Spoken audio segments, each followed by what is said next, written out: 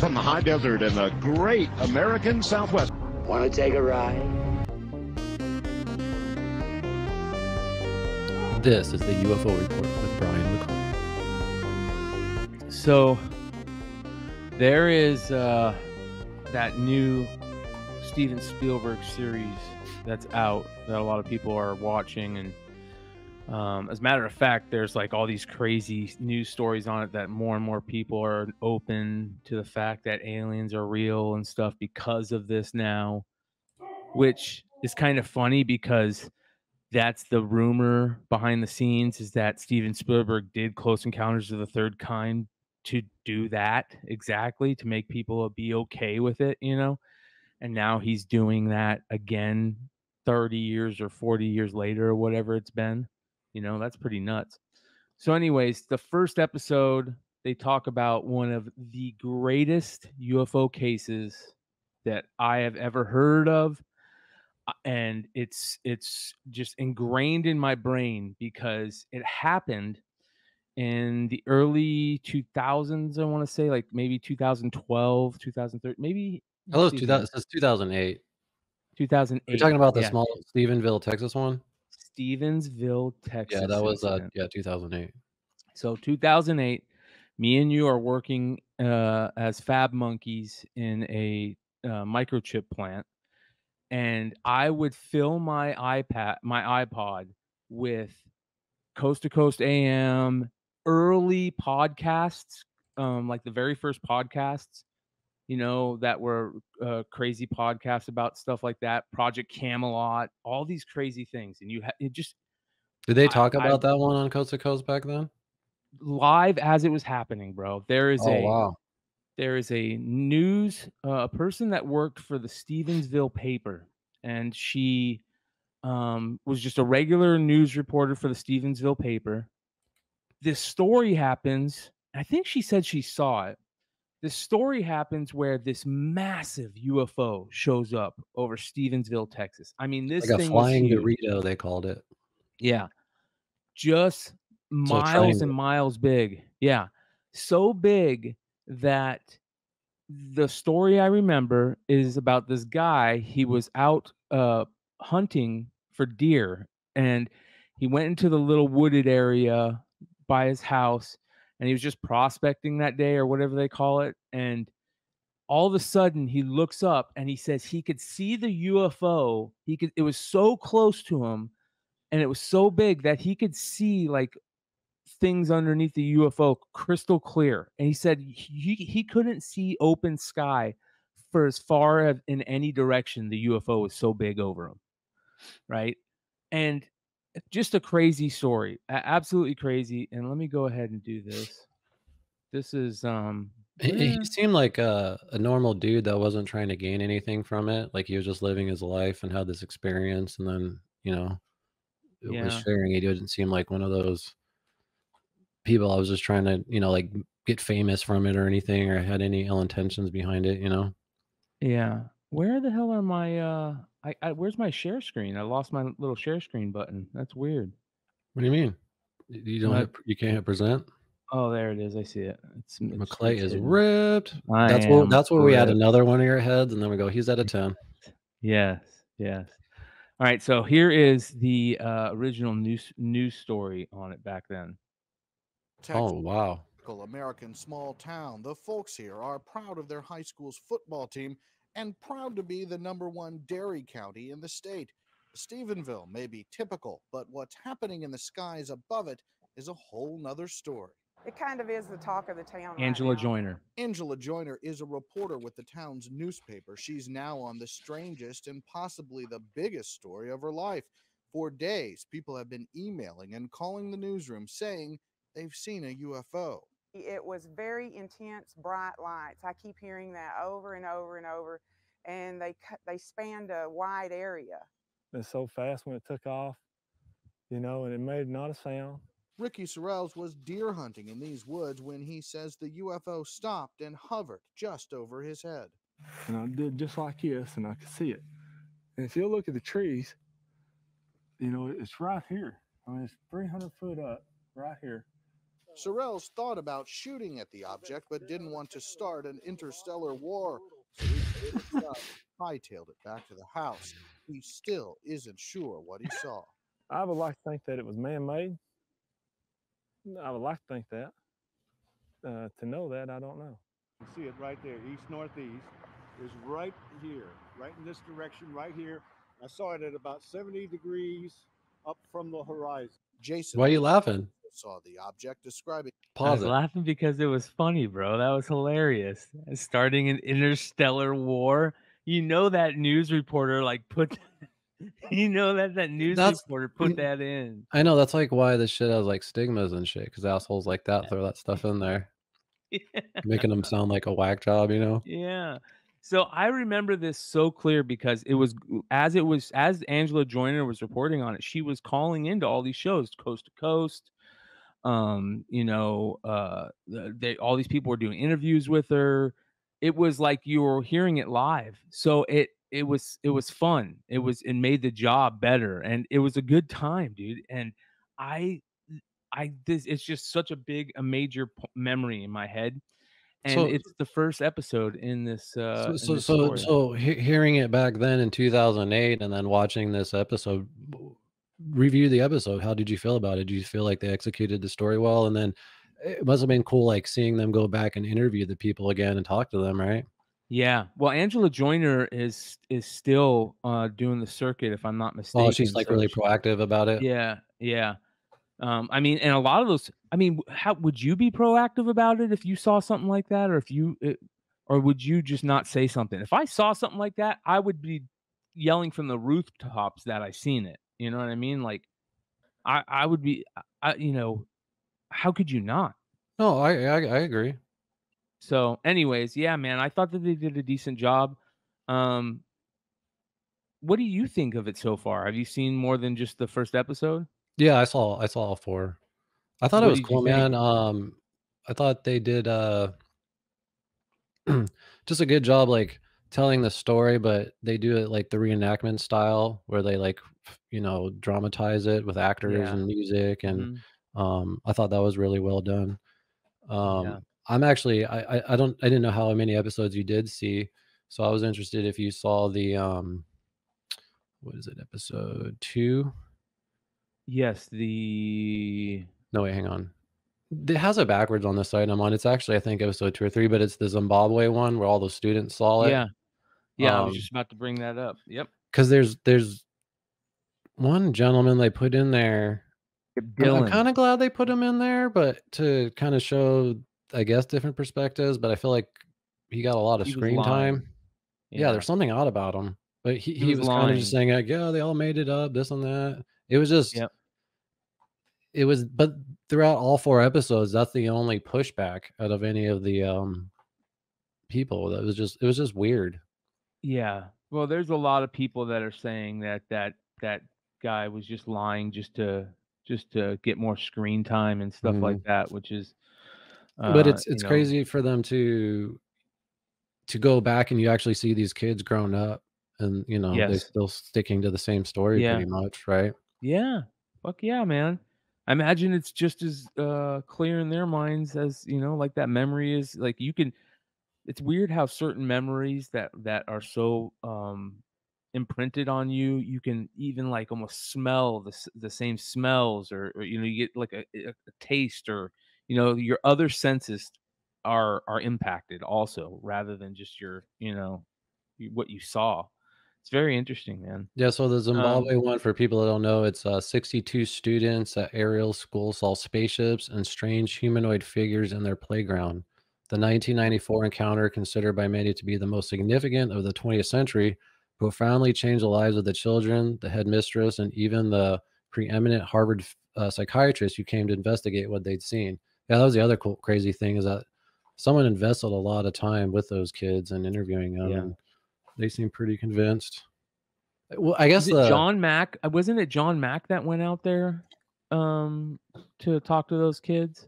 Right? I, I don't know how much truth or how fabricated or what you know what but what they're presenting what i thought was odd is they separated all the kids and they had them draw it and all the drawings were pretty damn similar as far as like Yeah. where the lights were and what color they were and the Yeah. shape and Yep. all that Ariel school incident. Yep. Yep. That was uh, John Mack, I believe, that uh, went out. One of the most famous. He was a Harvard University uh, professor of psychiatry, and he's one of the most famous people involved in the UFO, talking about UFOs. You know, uh, interviewing UFO victims or abduction victims and stuff like that. Um, John Mack. There's there's a, a a very interesting thing about John Mack, and a lot of people think that uh, he was killed, if I'm not mistaken, right? Yeah. Uh, so it says here on Monday, September 27, 2004, while in London to lecture at a T.E. Lawrence Society sponsored conference, John Mack was killed by a drunk driver heading west on Totteridge Lane. He was walking home alone after dinner with friends when he was struck at 11:25 p.m. in the intersection. So a lot of people say that you know he was killed, but anyways, um, yeah, the encounter stuff is is pretty pretty pretty interesting. Here, I- I- uh, you know what's crazy to me is the ufos and uaps whatever you want to call them it has to be more popular than ever yeah of all time Yeah. wouldn't you say so yeah oh yeah, hundred percent. i see people talking about them i never thought would talk about this shit Yeah, yeah, big time. This is amazing. it's a pretty hot topic Yeah. Check this out. This is pretty cool. Watch this.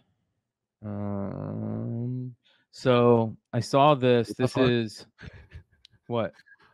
Oh i didn't even get To, i didn't really see it Oh, hold on, hold on. No, I'm gonna show it to you. I'm just gonna go to it. I got a bunch of uh videos I gotta bring up. Okay. So this was December 8th, 2012, and this is supposedly the former Russian president and prime minister discusses how each Russian president is informed about aliens. top aliens. secret folder.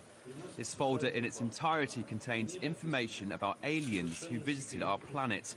Along with this, you are given a report of the absolutely secret special service that exercises control over aliens on the Well, let's leave that there because I believe we can now go to Paul Harrison, our royal correspondent, who, of course, is outside the King Edward VII Hospital where the Duchess of Cambridge was being. Jeśli nie wierzy pan w koniec świata, to może chociaż w Dziadka Mroza. No nie bardzo. Ale nie mam serca, by mówić dzieciom, że dziadek mróz nie istnieje. Every, that's crazy. Każdy prezydent dostaje teczkę z napisem ściśle tajne. Są tam informacje. He's saying uh, every president gets a book. I can't say how many of them because it will cause them. Uh, he talks about all the aliens visiting Earth. Let me let me restart this real quick. So it says every president of Russia uh, gets a book labeled top secret, and it talks about how many aliens have visited Earth. And he says, I can't say how many of them because it will cause mass panic. This is the president of Russia. This is saying this in 2012. I never saw this. I never, I don't know if this is stuff that is coming out like it was heard behind the scenes. Ex-president people- of russia Yeah. hasn't putin been like forever So this was, so Putin, Putin, or is he like left, a high ever oh okay. And, and when he left, he controlled it with through this guy. This guy was one of Putin's puppets. i see. And and uh and they switched they kept switching positions if i'm not mistaken. But yeah man i've never heard this. What are the That comments i want to see what the comments say on this. They must be fucking like what the fuck? Yeah. Says uh save the video. That's not a bad idea. Yeah. Um seriously this is an interesting data unlike all them cgi'd videos i remember this from way back says we need it in english what is the documentary he mentioned chronicle men men in black How Uh, sober how- it? how sober is Medvedev when this all was the guys are probably recorded? drunk yeah Yeah, Russian documentary. Medvedev smoke, spoke about Men in Black. Look at that. YouTube. A Russian documentary where he talks about it. It looks like. Wow, Hmm. I might have to check that out. That's pretty cool. So that was uh pretty interesting. I thought I, I I'd never seen that, never heard of it, any of that stuff. So pretty cool shit. Um, I got more here.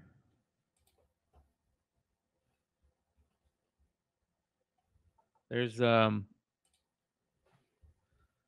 I have a video when whenever for of uh, Muhammad Ali talking about aliens and you or I should say UFOs.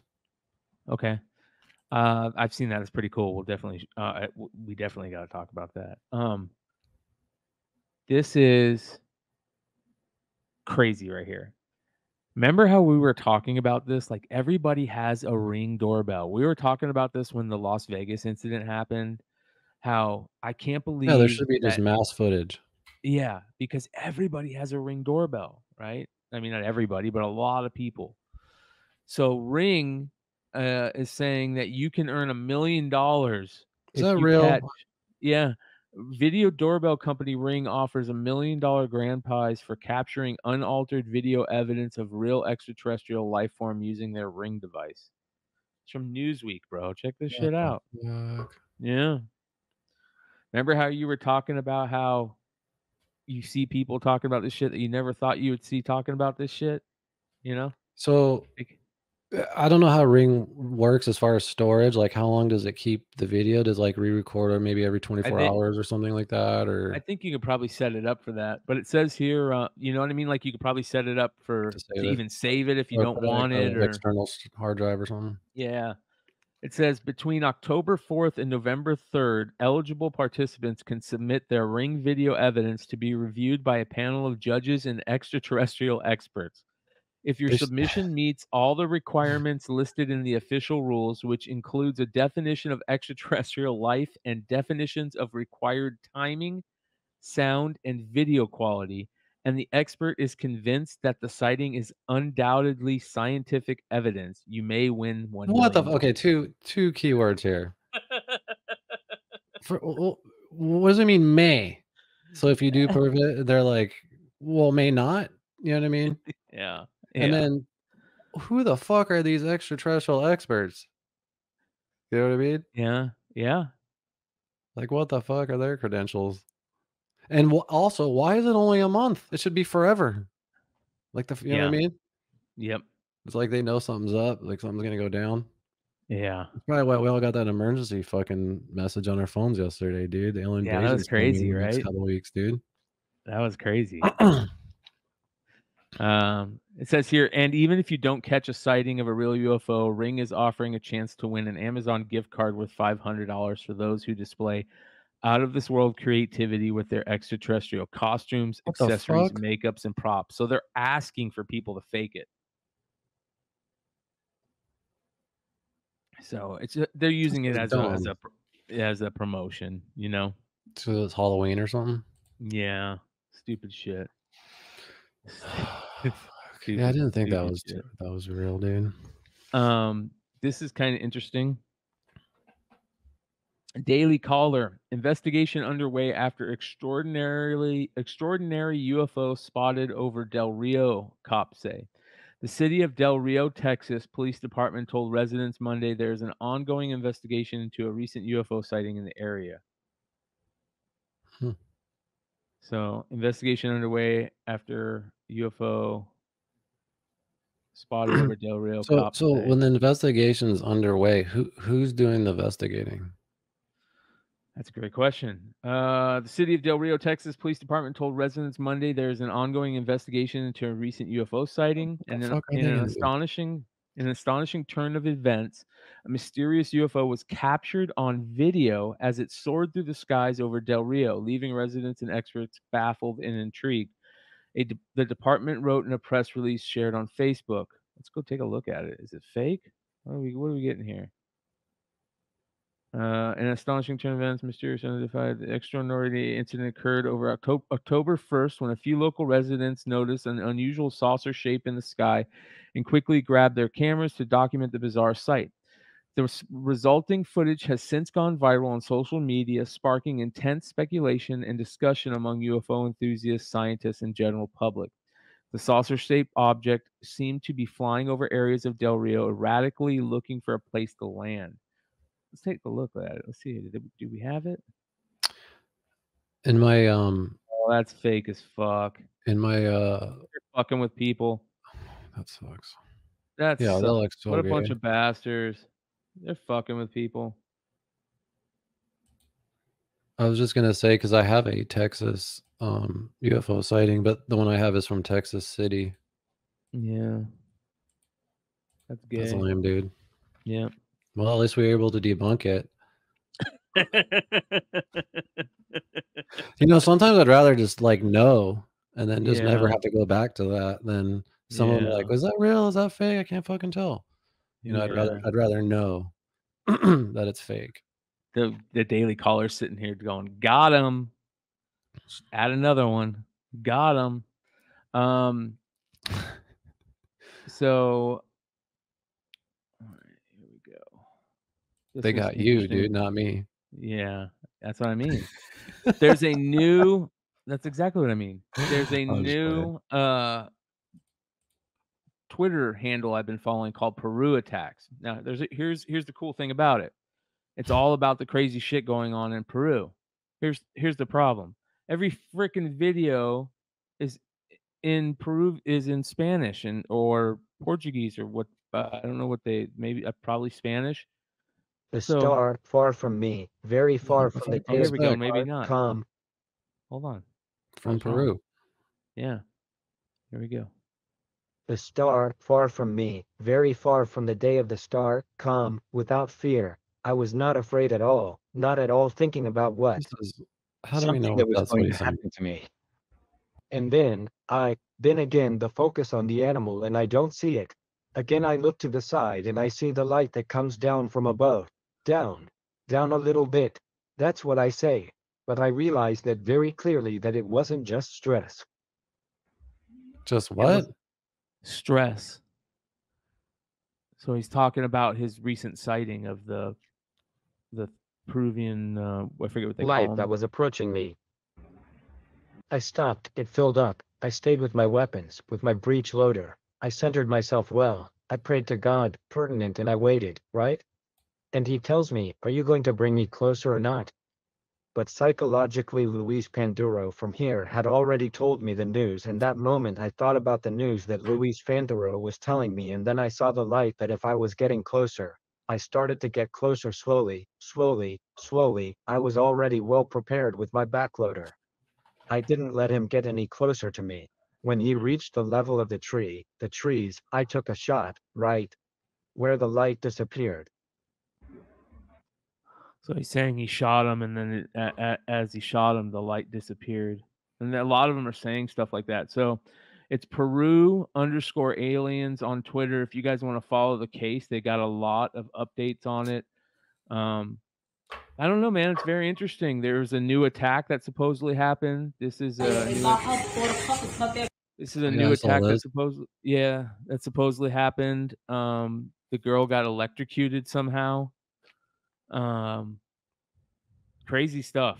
Weird, weird stuff, man. Weird stuff. Johnny, old school Johnny Carson. Weird stuff. Is that what he used to say? I think so. I don't know. Never watched it. Uh, yeah, man. So more Peruvian news. Um, it's crazy that we're still getting stuff out of it. I'll just say that. You know, very interesting. So, all kinds of stuff, all kinds of news stories. Uh, you know, people talking about people flying around in jetpacks and stuff, and how stupid that is. But they also talk about the uh, Phil Schneider thing right here. Look at that. They bring up the Phil Schneider thing. That's very interesting. Very interesting. So, yeah, uh, a couple cool things to talk about this week in the UFO report. Sweet, dude. I appreciate that.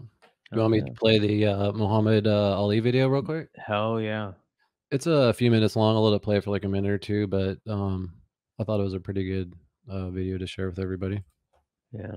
Just let me know if if you can't hear it. Let me know. I just want to make sure the audio is working. Can't hear it. Really? Yep. You couldn't hear that? Uh-uh. You got you got you're not you, your audio. They moved where they put the audio button. It's on the right instead of the left. I know. It, it, I had it clicked. Oh yeah, I see what you're saying. Yeah. Real quick, here's another thing while you're doing that. Another sighting Oops, video. my bad. this My bad. was Sorry, sorry, sorry. this is captured in Wisconsin on September 2nd. It's pretty crazy. It's a UFO behind a cloud. Hmm. Yeah. So very interesting, man. Look at that thing. That thing's pretty fucking huge.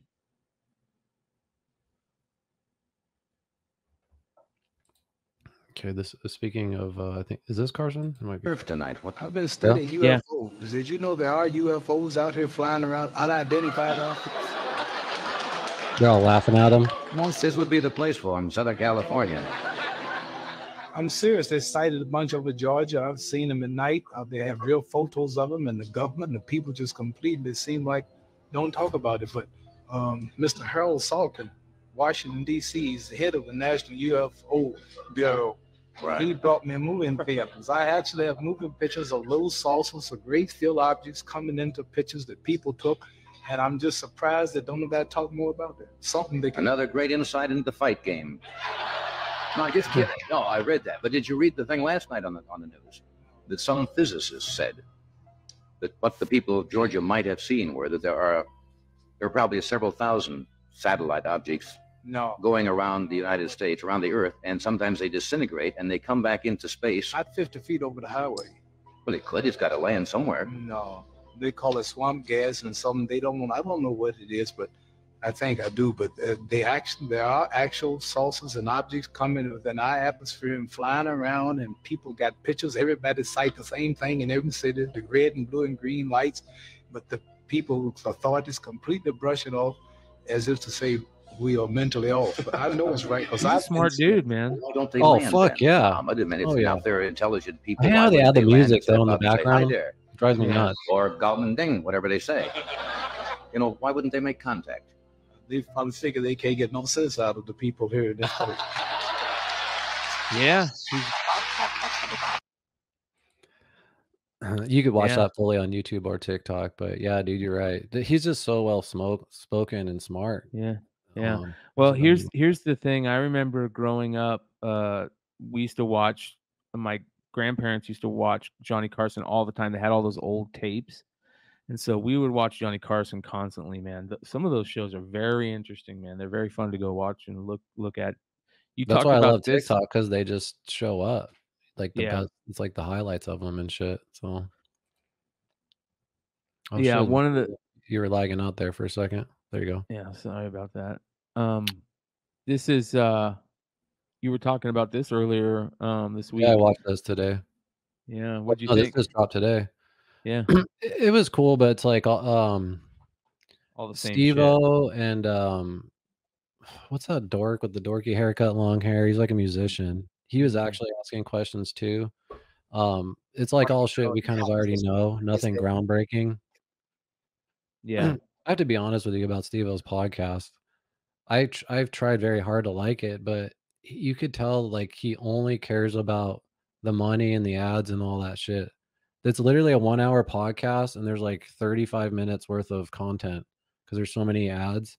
And then he just asks every guest how much money they make all the time. It's so cringe, dude. I'm like, fuck. What the yeah. fuck? I can't stand his voice.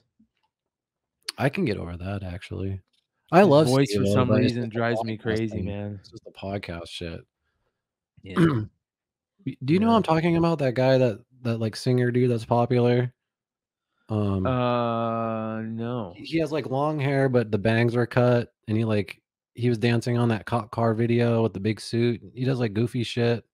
Oh yeah, Oliver Tree. Yeah, Oliver Tree is sitting in the passenger seat asking. He was actually asking the better questions. He was actually the better interviewer than Steve-O, to be honest with you.